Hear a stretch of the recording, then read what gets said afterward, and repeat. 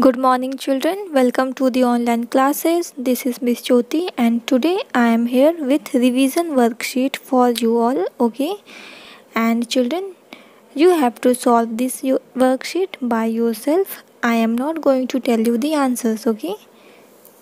So let's see what is there in this worksheet. Children, this is the worksheet that you have to do. Okay. And uh, there are six questions in this worksheet. Now I am going to read the instructions so listen very carefully. Read and circle the correct answer. Children in this worksheet you have to read the questions and then circle the correct answer okay. Three option is given option A, B, C.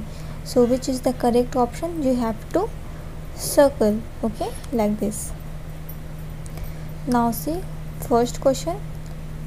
Which is the national tree of India? Children now three option is there. Option A banyan tree. Option B Gandhi tree. Option C neem tree. So now you circle the correct answer okay? Number 2 the dash is the national fruit of India. Children again three option is given. Option A peach option B mango option C apple. So now circle the correct answer okay?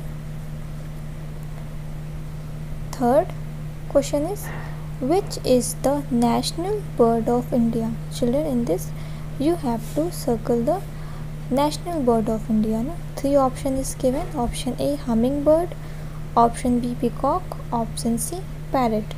So circle the correct option Number 4. The national anthem of India, Jan Gan Man, was composed by option A. Gurudev Rabindranath Tagore, option B.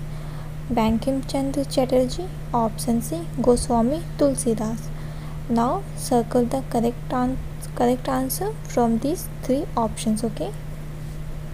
Number 5 Dash is the national flower of India. Children, again three options there. Option A rose, option B jasmine, option C lotus. So circle the correct answer okay from these three options. Number 6 What is the national animal of India? Option A elephant, option B Bengal tiger, option C lion. So again circle the correct answer from these three options okay? That's all for the class today. Have a nice day. Bye children. Take care